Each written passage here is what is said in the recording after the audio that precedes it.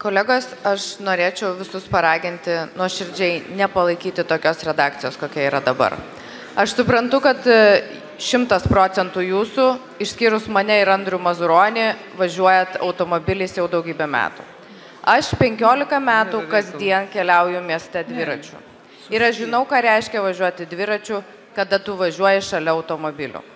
Aš labai apgailestauju, bet šiandien nei vairavimo kultūra, nei infrastruktūra, kalbant apie dviračių takus, e, neleidžia saugiai keliauti bendra važiuojamąją dalimi kelkraščių.